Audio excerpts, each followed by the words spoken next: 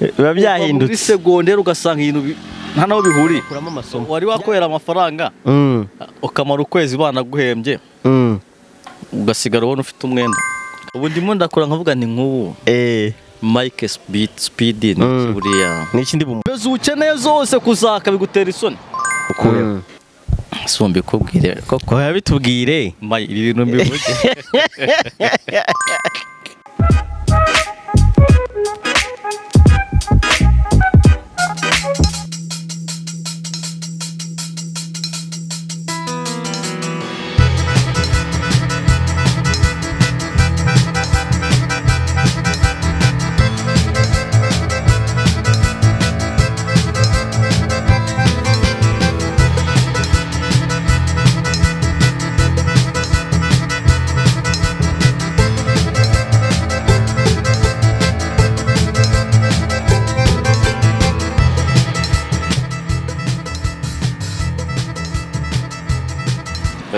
abakurikirana speed tubahaye ikaze n'ibyaciro kubana namwe.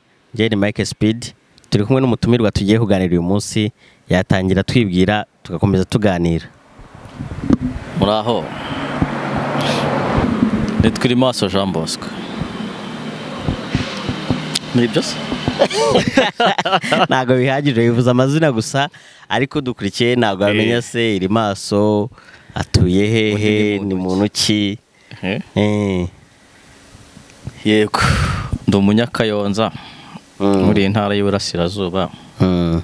umurenge wa Nyamirama ni na yo kavukire. Ni ni kavukire? Yego. Ndi kavukire muri Kayonza ntago ndi nta- ntago ndi umushyitsi Mm, nta nubwo ndi umwimukira ndi kavukire mm. Mm, umva ko inama hazi cyane ari mu rugo. Inaha urahazi rero ugiye no kudufasha gusobanurira abatahazi bamenye imiterere yaho bamenye mu bukungu byifashe gute uduhe amakuru nyine ya kayonza. Kayonza yacu se? Eh, Kayonza na na akarere gakungahaye ku mata. Gakungahaye ku mata. Ni umutara se? Buriya ntabwo ari umutara Mm. ariko umutara uraduhagarariye cyane. Iyo tuvuze Mm. by'amata umuntu avuze umutara yavuze nyagatare uhita ubyumva neza cyane. Mm. ariko na kayonza burya tugira amata cyane. Eh, nabonye no mu mujyi ikirango cyanyu harimo inka y'inzungu. Warayibonye iriya? Eh, iriya nk'irimo hagati muri rompo eh, iyo uyigeze hiriya nka burya ugeze muri kayonza. Hano ni ho muri kayonza mu santire niyo santire ariko ni n'akarere kera ibintu byose burya. Ubuhinzi ni sawa. Kayonza kubera n'ubuhinzi Mm. bwose. Mm. irera nta kintu kitahera. Cyane cyane wari uvuze ibitoki ibindi bihingwa bihaba se Ni ibihe? ibitoki byo ni ni abantu bose babituzi ibyo bintu. Na- nawe ni- n'umuntu wese ahantu hose uciye ugenda ubona ibitoki. Kandi Mm. no mu gihe cyabyo kibireza ubu. Ubu bireze mu mpeshyi ibitoki biba byeze cyane. Naje mpura na- n'abantu babifite ku magare ubona ari igihe cyabyo koko. Mu gihe cyabyo ikiro gishobora kuba kigura nka magana abiri. Ikiro kiri kuri magana abiri. Mm, ugiye nko muri bakubwo ni muri mu butike Eh, eh, ugiye nko mu isoko kiri nko ku ry'itanu iry'irindwi. Eh, urumva ko igitoki rero abantu bagikunda. bazadusure bazadusure. tubatekere n'abakunda amata. N'abakunda amata buri turi amata ni ni nkangahe yo? Turama tubiri kuri magana abiri. Abaturage bayagemura bayagemura kuri magana abiri. Mm, ugeze kuri dayari bayaguhera magana atatu. Mm. Ariko turi muri iki gihe cy'impeshyi ushobora gusanga ari nk'abiri n'itanu kuko igihe cy'impeshyi amata arabura burya aba yabuze kubera izuba. Izuba izuba riba ryabaye ryinshi amata Mm, arabura yego. Ariko ubusanzwe amata arahari naho. Ku kijyanye n'ubucuruzi se kayonza. Bwo imeze ihagaze gute? Kayonza yihagazeho ahantu hose. Mm, Mm, kayonza yihagazeho ahantu hose. Biragenda. Ni umujyi mwiza cyane. Kayonza ni umujyi mwiza kuwuturamo ni ibintu bya sawa. Wabonye ko n'imihanda harimo bayikora no bagiye gushyiramo kaburimbo no mu makaritsiye inyuma. Yego. Hagiye guhinduka nk'i burayi. Ah, uratubwira wibwira abadukurikiye ntibatubwira icyo ukora. Ege nagiye nkora imirimo myinshi ariko eh, cyane iy'ubuhinzi. Cyane cyane iy'ubuhinzi. Yego ubu ndi umuhinzi pe. Ndi umusore w'umuhinzi ariko agiye biragoye cyane kubona umusore w'umuhinzi kuko akenshi usanga abasore bari mu yindi mirimo ya tekinoloji imirimo se ya za ofisi ugasanga niyo bakunda. Ah, kubona umu- umusore w'umuhinzi biragoye. Ukuntu umuntu yicara muri biro yanatebeje agashyiraho n'agakote n'akavesiti. na- n'akakaruvati. Eh, ariko uriya musore aba asa neza. Iyo mirimo rero niyo abasore bakunze. Eh, iriya mirimo na yo ni myiza ariko Mm. Imirimo yose ni imirimo reka. Upfa kuba itanga amafaranga. Mm. kandi mu buhinzi nta mafaranga abamo kandi n'iriya mirimo itanga amafaranga. Mm. njye ntabwo neze nyikora ngo mvuge ngo nshobora gukompara imirimo yo muri izo za biro n'ubuhinzi. Ntabwo nabikompara ngo mbishobore. Ariko nzi ko ahantu hose hari amafaranga umuntu wese aba agomba kujya. Kuko amafaranga yo ntabwo ashaka umuntu. Umuntu ushaka amafaranga umuntu ushaka amafaranga amafaranga ntabwo agusanga aho uri ujya kuyashaka. Mm. kandi buri kindi kintu buriya amafaranga aba ari mu bantu. Buri muntu wese rero burya aba afite amafaranga yawe. Aba agufitiye amafaranga? Agufitiye amafaranga. Ntabwo urabisetse. Ubu nanjye ngufitiye amafaranga. Ubu mfitiye amafaranga. Ubu ndimo ndakora nkavuga ni nk'ubu. Eh, mike speed speed ni Mm. iki buriya n'iki ndi bumukureho? Kugira ngo amafaranga mike afite ayame buriya n'iki nakora? Mm. kandi urayampa da. Eh, mbibona kuri urayankuramo Mm. wow. Kuko amafaranga ntabwo nta muntu urya amafaranga. Niyo bavuga ngo amafaranga ngo wayariye gusa Mm. mu isafuriya. Niyo mpamvu rero amafaranga buri muntu wese afite yawe na yo ufite abara y'undi niyo mpamvu iyo uri umuhanga umuntu wese ubonye ura- uramureba ukavuga uti uyu muntu amafaranga afite ni gute? Nayamukuraho namukuraho guteye amafaranga afite? Nayamukuraho gute? Mm. kuko ubu ni ho hantu tugeze ntabwo tukiri ha hantu. Mm. wumva ko bazaguhamagara. Hari igihe uriya nko ku gihe cy'ababyeyi bacu umuntu yabaga yarize za segonderi yabaga ari umuntu w'umusirimu cyane. Cyane. Nyine wavuga muri segonderi abantu bagushaka no mu karere nahe hose. Imirimo yabaga ari myinshi ahubwo ari wowe uri buhitemo. ari wowe wihitemo uri bukora ashaka njye numva akazi ntari bugakore none ubu ngubu tiranga rero, ndi bujya ahandi ajya hariya. Abanyamashuri twabaye benshi. Mm. nta nta nta muntu ucumva ngo warize ngo akubone ko uri umuntu w'igitangaza. Ari igitangaza. oya kwiga se niki Mm. Ni- nyine byabaye ibintu bisanzwe. Ariko kutiga ni cyo gitangaza umuntu nakubona ateza akabona ni igitangaza. Guta umuntu koko w'umunyarwanda w'umusore ku- kuki atize? Igihugu cyaroroheje ibintu byose kigashyiraho n'amashuri y'abantu bigira ubuntu cyangwa se bigira udufaranga dukeya. Ariko ugasanga umuntu ngo ntabwo yize ngo ngo ngo ngewe ngo na ngo nabaye ngo na turonkome sinayize Mu- mu- muri iyi minsi rero ahubwo kutiga ni cyo ni cyo gitangaza. gitangaza. Mm. biteye n'isoni ahubwo n'umuntu eh, utarize aba- abateye isoni n'umuntu arabyumva akavuga ati uyu musore umeze gutya wo kutarize. Mm. ukumva ntabwo ari ibintu bivugitse neza. Hanyuma ariko hari ikindi kibazo abantu barize ari benshi akazi karabura. Twari turimo kuvuga yuko mbere warangizaga segonderi bagushaka. Mm, bagushaka none rwose. Ubu ngubu urarangiza ukabura n'aho udepoza. Oya ubuze naho udepoza. Nta n'umuntu ukenyeza avuga ngo si ubu ngo nzadepoza. Nyine tuzadepoza. Ke- ke- kera tukiri mu ishuri twega twumva tuzarangiza amashuri turi abakire tuhita dukira ugatangira no kubara imyenda uzaba wambaye. Wabibaze. Wayibara uvuga uti hari agakote nabonye ahantu. Eh. ngomba kuzahita nambara Eh. Ariko nyine iyo umuntu ari mu ishuri aba ameze nk'umwana uri nko mu rugo iwabo. Mm. wa mwana ba- bateka bakamubwira ngo ngwino urye Mm. nawe ukiri mutoya Mm. babaza nko kutakarabye kutaryamye. Na hariya nuko muri segonderi. Ah, nyine icyo uzi cyo ni ukuri bikaba bitakureba. Ntabwo bikura icyo upfa nuko bishya bakakubwira ngo ngwino urye byose nyine ba- bakubwira ngo ngwino ukore iki ngwino ukore iki bagutekereza. Hari ahantu iyo uvuye rero. Ugera hanze ugasanga umeze nka bya bindi samaki ijya yikora mu mazi. Igeze ku ipanu bihita bihindukana. Biba Uva muri byahindutse segonderi ugasanga ibintu bi- nta naho bihuriye. Bya bindi watekereza uvuga uti uza wumva kwanza wabaye n'umuntu mukuru. Imaniste Mm. uza wumva wabaye umuntu mukuru. Mm. ibaza ukuntu uzakomeza kwaka korogate. Kandi uba wumva ugiye no kubona akazi kuba wa- warangije. Warangije. Mm. mbese ukeneye zose kuzaka bigutera isoni. Ushobora kuba ufite nka barumuna wawe ibaze ukuntu murumuna wawe ari bubyuke ya- ya- yaka Na- korogate nawe ashaka umugati nawe ushaka. Nawe uri umuntu ukuze waba warangije amashuri nawe urumva ni ikibazo. Mm. niyo usanga umuntu yaravuye ku ishuri ari umusore ari bogari yamara ibyumweru bibiri ugasanga yarahorose kandi ku ishuri twavuga ngo habaye inzara. Eh. utavuye ku ishuri haba inzara ukagira mu rugo hari ibyo kurya ukaba wahorose. Mm. nyine usanga ibibazo ugomba gutekereza ari byinshi. Mm. kandi bagutekerezaga nta muntu ari kubigutekereza. Ubonye umwanya wo kwitekerereza. none ugatangira kubona ko isi itangiye kukubana ngari pe. Ukabona n'ahantu ujya ukabona n'akazi ko mu kabari nta n'umuntu akaguha nurese arirukana ukora nk'umazemo igihe. Ubimenyereye. no gupfundura na fanta. Mm. ni ikibazo. Mhm. urumva bigusaba kubaka ubuzima. Kandi bisanga ubanze wubaka izina. Nk'ubu mwanya ushobora guhamagara ahantu uvuga uti genda ashaka ibihumyo bagahita baguha nimero yanjye. Mm. Aha, urugero. Uhamagaye nko muri minagiri uri hano mu burasirazuba. Ugahamagara muri minagiri wazi ibintu by'ibihumyo. Mm. baguha nimero yanjye. Mbese ibihumyo abashaka isosi ahubwo bakwegere? Ubwo uzi igihe uba umaze ibyo bintu byuha kujya ku buryo aho hantu ushobora gutanga nimero yawe Eh, kugira ngo umenyekane.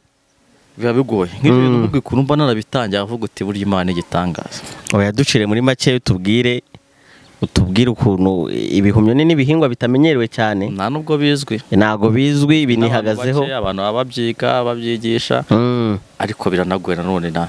Mm. kuko bisaba ibintu bimeze nk'aho ari tekinoloji nubwo ari tekinoloji ya gakondo ariko ni tekinoloji burya na yo harimo tekinoloji yego. Mm, njyewe nakoreye amafaranga. Mm. si mbikubwire koko. Bitubwire ibi bintu mbivuge. hariya tuba turimo kwigisha Ah, hari ababa bakeneye kumva? Izo nyigisho bagakuramo amasomo wari wakorera amafaranga ukamara ukwezi banaguhembye ugasigara ubona ufite umwenda kandi wahembwe baguhembye baguhembye Mhm.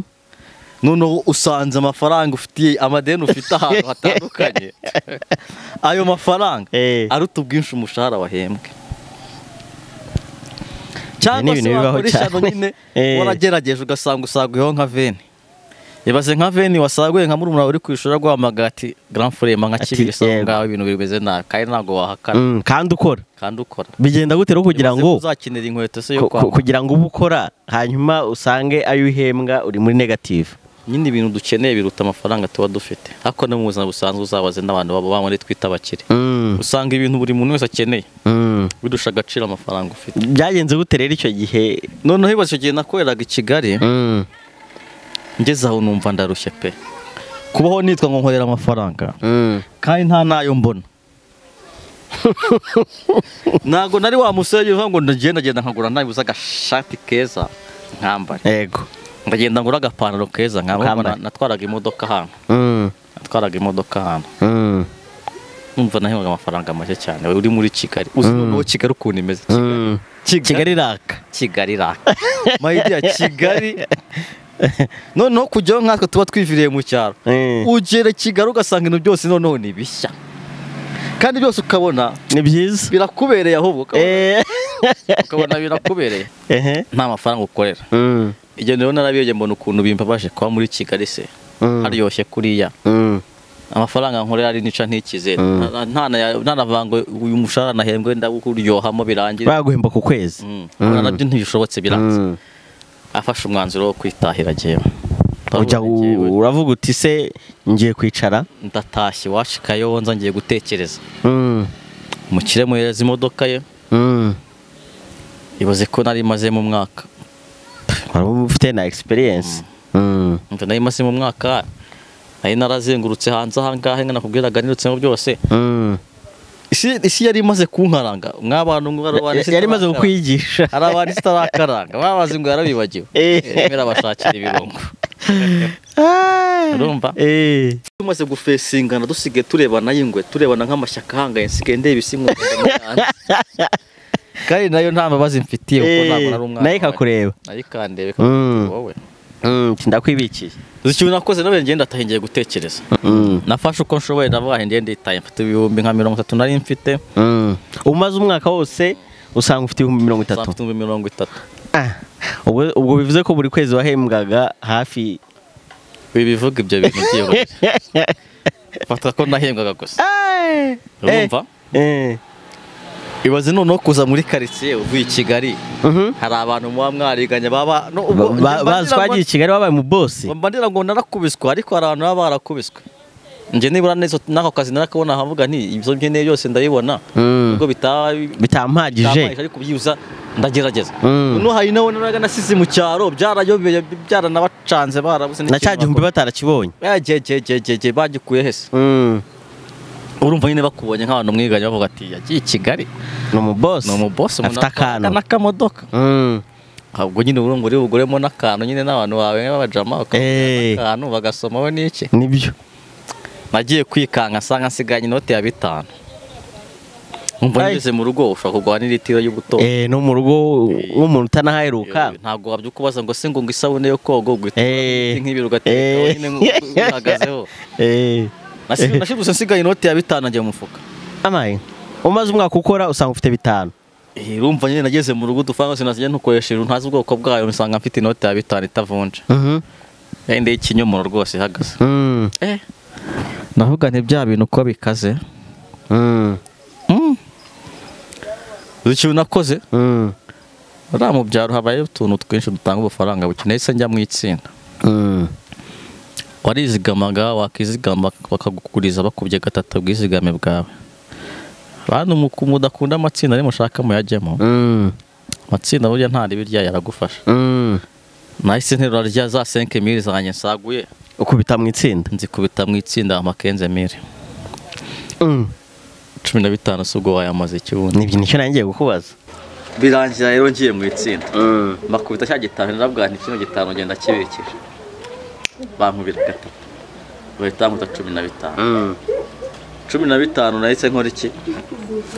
Mpita nyoherereza i Kigali umugabo nakore twakoranye w'ibihumyo ndavuga nti nashaka imigi na mirongo itanu kandi mfite amafaranga ibihumbi cumi na bitanu.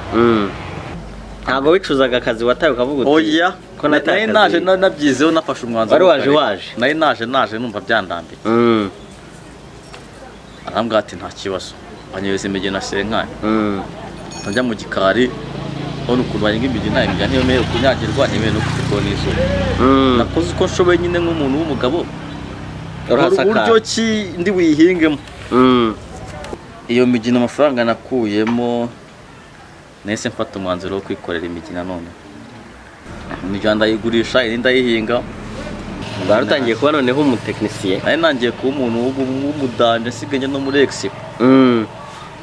Hano muri expo kayonza haba ama expo bakampamagara nkajyayo yego. Tugira n'ikindi kibazo? Ah, nari nagiye kukivuga. Kanyivuge nidushaka duhite dusoza Mm.